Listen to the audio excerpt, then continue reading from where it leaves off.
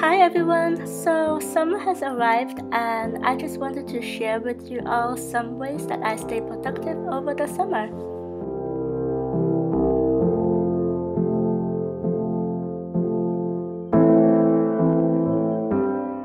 You've got loads of free time now, so why not use some of your time to learn a new language? Plus, doing so will keep your brain sharp over the summer.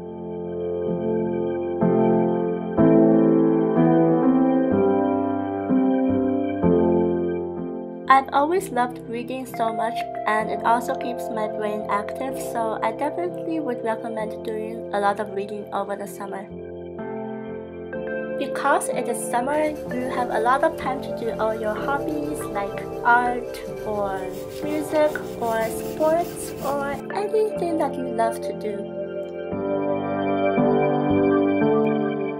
Watch some educational documentaries or TED Talks to just learn something new and grow your brain. You can also listen to some educational podcasts when you're on the bus or traveling somewhere or just doing something that does not need 100% focus.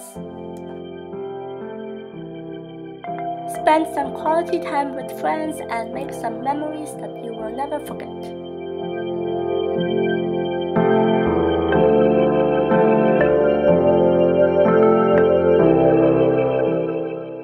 And explore this beautiful world that you are in and have some fun adventures.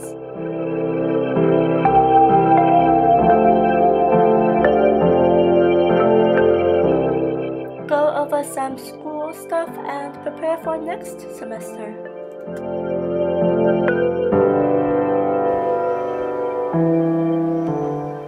Go volunteer at a camp or a shelter or wherever, and I promise it will be a very rewarding experience.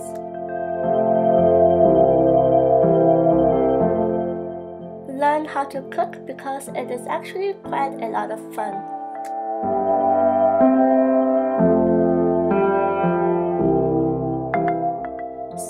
Those were some little things I do in the summer to stay productive. And if you guys have any other suggestions on how to stay productive, be sure to comment them down in the comment section. And yeah, I will see you all in my next video.